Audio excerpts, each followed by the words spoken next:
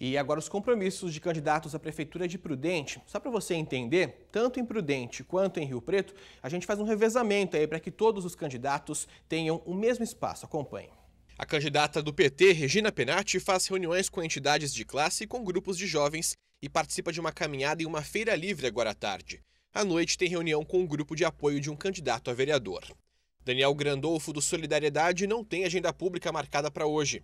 Nelson Bugalho, do PTB, participa de uma reunião com produtores rurais e com moradores do Jardim Cinquentenário agora à tarde. À noite, ele faz reuniões com moradores da Vila Maristela e do conjunto habitacional José Rota. E José Leme Soares, do PRB, visita bairros da cidade durante toda a tarde. À noite, ele não tem nenhum compromisso público.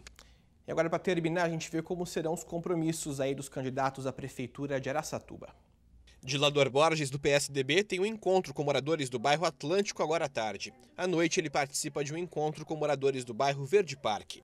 Hélio Consolaro, do PT, participa de um evento de aeromodelismo no bairro rural de Engenheiro Taveira.